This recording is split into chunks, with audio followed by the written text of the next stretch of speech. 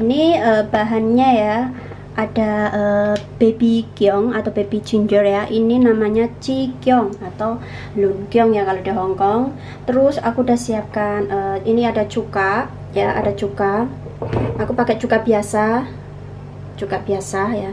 Cuka terus uh, gula putih terus garam ya. Terus uh, aku menggunakan ini apa uh, plum ya atau wamo ya uh, ini menambahkan uh, apa itu?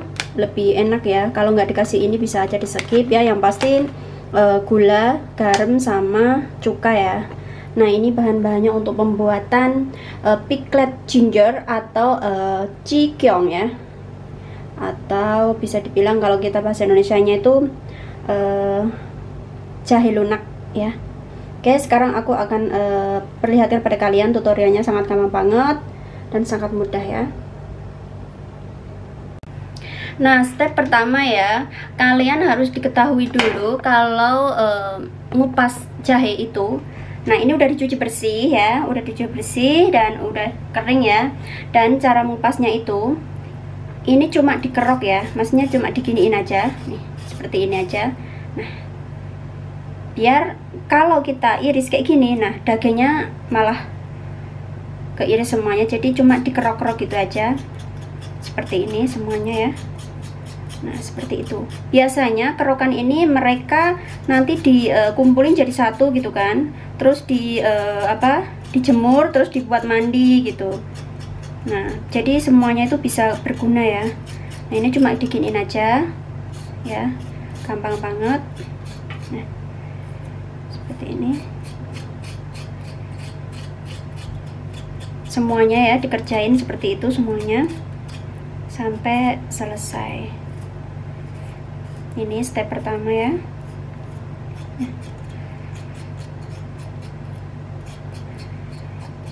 Nah oke okay, dikerjakan semuanya itu ya. Uh, terus cara memilih kilang yang bagus paling bagus itu di sini ada ros-rosnya ya. Di sini ada kayak gini-ginian dan nanti caranya motong itu aku akan liatin juga. Oke sekarang aku akan potong.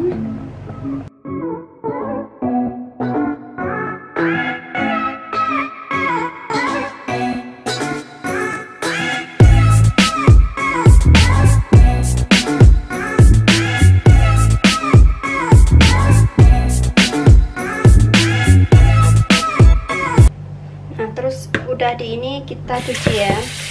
Cuma cuci-cuci dulu aja udah di apa? Udah di hmm, kulitin kita cuci-cuci.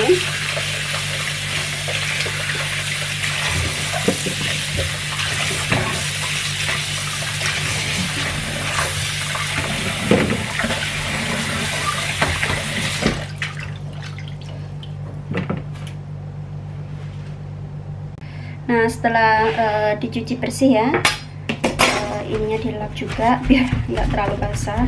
Oke okay, uh, eh, kita potongnya. Cara memotong uh, jahe itu jangan sembarangan ya kalau mau dibuat seperti uh, piglet ginger. Kita harus seperti ini karena kadang-kadang uh, modelnya seperti ini ya. Kita motongnya harus disejajarin. Nah seperti ini. Ini dipotong dulu. Nah dipotong dulu seperti ini. Terus kita kita terserah ya mau dipotong separuh juga bisa kalau enggak juga bisa terserah kalian. Tapi cara memotongnya itu harus miring ya. Soal tipis-tipisnya atau seleranya itu terserah kalian tapi karena ini aku um, pengennya yang sedikit crunchy jadi aku motongnya sedikit gede-gede ataupun um, rada sedikit tebal ya.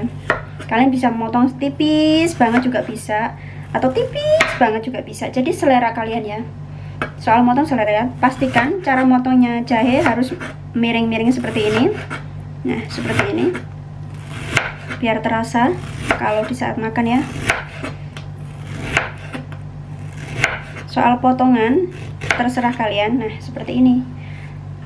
Jadi rapi nanti kalau di saat kita e, menatanya di botolnya itu rapi. Nah seperti ini ini aku versinya sedikit tebal-tebal ya. Ingat sekali lagi uh, soal potong. Itu terserah kalian mau apa tipis-tipis atau enggaknya. Nah kalau kayak gini nggak usah di ini ya. Kita mulai seperti ini. Yang lain kayak gitu kalian bisa buat apa? Masak sayur juga bisa. Ini nggak mau ya. Nah seperti ini. Jadi bagus-bagus nanti hasilnya pastikan kalian motongnya itu yang rapi ya biar nanti semuanya juga rapi. Karena ini mau tak kasihkan majikan aku ya buat mereka. Jadi aku akan potong lebih rapi lagi dan lebih sempurna. Nah pokoknya dipotong sesuai selera dan uh, sekarang kita rendam dulu pakai garam ya seperti ini caranya nah setelah dipotong ya seperti ini udah aku potong ini Nah, seluruh selera kayak gini kita rendam pakai air garam ya. Kita rendam selama 20 menit aja ataupun setengah jam nggak apa-apa, terserah kalian. Karena nanti kalau kita rendam itu cuma menghilangkan rasa pedasnya atau tengir-tengirnya yang ada di jahe ini ya. Seperti itu kita rendam. Oke, aku akan rendam selama 20 menit aja. Tambahkan air. Nah, kita rendam selama 20 menit ya.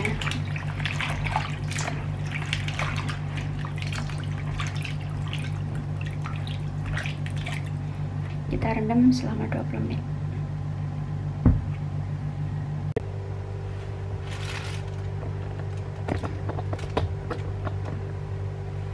Nah, sambil kita ngerendam jahenya, kita siapkan uh, panci ya. Kita rebus dulu apa gula sama cukanya. Aku akan bikin rada sedikit banyak ya, karena nanti aku akan tambahkan yang lain. juga. Terus cuka direbus sampai meleleh ya ini aku semuain cukanya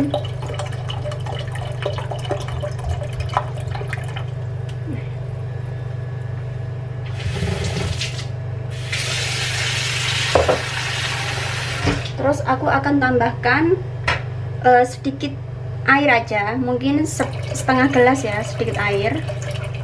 Oke tunggu sampai dia benar-benar uh, meleleh semuanya dan mendidih. Nah kita aduk-aduk sampai gulanya meleleh ya. Tapi tunggu sampai mendidih ya.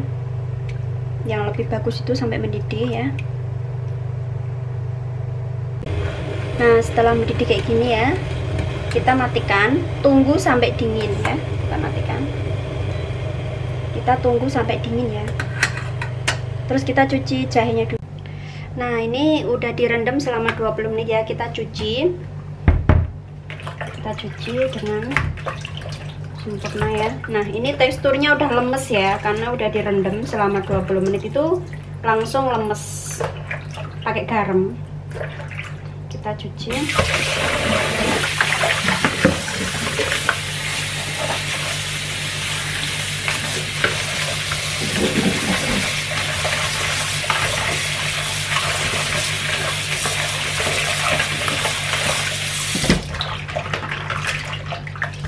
Cuci dengan bersih ya. Nah ini udah lemes nggak kaku ya.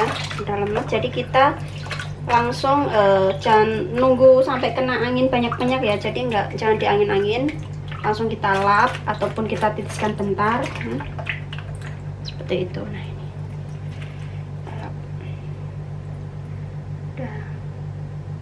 Teksturnya tuh bagus banget.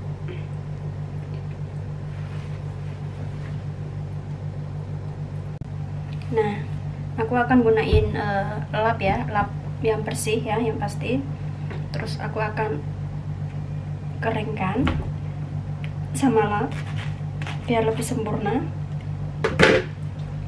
Kalian dititisin uh, tunggu bentar nggak apa-apa. Tapi aku akan gunakan seperti ini biar nggak terlalu basah banget dan menjadikan jahe ini nggak terkena angin banyak ya. Pastikan seperti itu. Kita lap-lap sampai dia rada sedikit kering ya. Seperti ini. Nah setelah uh, kering seperti ini ya kalian bisa taruh di wadah lain nggak apa nah aku akan gunakan ini lapnya. Nah, kita siapkan dua ataupun terserah kalian. Yang pastikan kalian harus memilih yang kaca ya jangan yang plastik. Karena kalau yang kaca itu bisa tahan lama tapi kalau yang plastik itu cepat rusak nanti tekstur jahenya uh, aku akan ajarkan seperti ini ya caranya. Kita tata baik-baik ataupun nggak tata nggak apa-apa terserah ya. Tata lebih bagus enggak juga enggak karena ini uh, mau dikasihkan majikan jadi aku akan tata lebih bagus lagi. Jadi teksturnya nanti tuh rajin ya. Nah, pokoknya ditata dengan baiklah seperti itu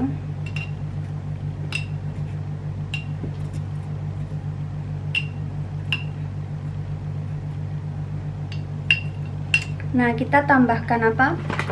Ini ya, plum ya, ataupun uh, apa ini wamu ya kalau di sini. Kalian nggak tambahkan juga nggak apa-apa, karena aku akan ngasih tekstur biar lebih enak gitu, lebih lebih terasa. Nah, aku tambahkan tiga biji, terus kita tambahkan lagi jahenya di atasnya seperti itu. Nah, kita nunggu uh, air cukanya ya. Rada sedikit hangat-hangat kuku ataupun dingin baru kita tuang tuang di gelas kacanya ini. Nah, seperti ini ya. Kerjakan sampai selesai. Nah ini udah jadi dua ya. Tadi hasilnya seperti ini. Ada uh, plumnya di, di uh, dalamnya. Terus nanti kita tuang uh, air cukanya di atasnya ya. Seperti itu pembuatannya. Mudah banget tapi memang harus telaten ya. Nah ini air cukanya uh, yang tadi udah direbus udah sedikit hangat-hangat kuku ya. Kita masukkan ke dalam ini. Jadi kalau naruh jahenya tuh jangan terlalu padat ya dilonggar-longgarin gitu biar semuanya itu merata kena airnya cuka biar tahan lama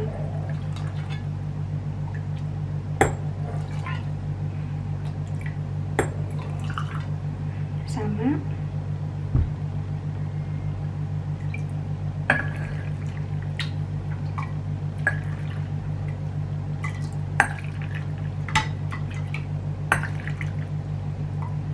nah seperti ini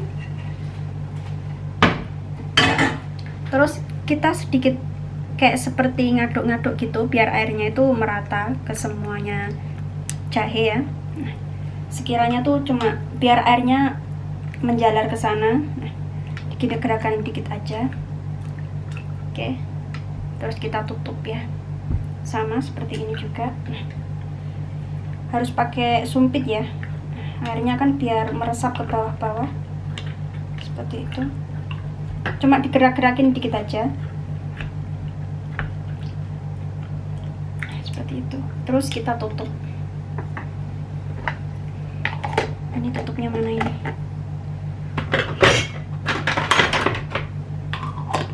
Kita taruh di kulkas ya.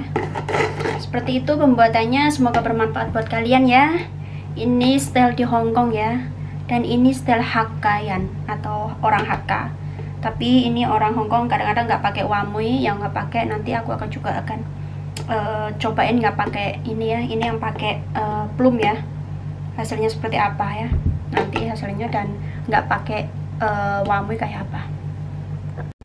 Nah ini keduanya botol ini nggak ada uh, wamunya ya cuma jahe aja sama juga akan tambahkan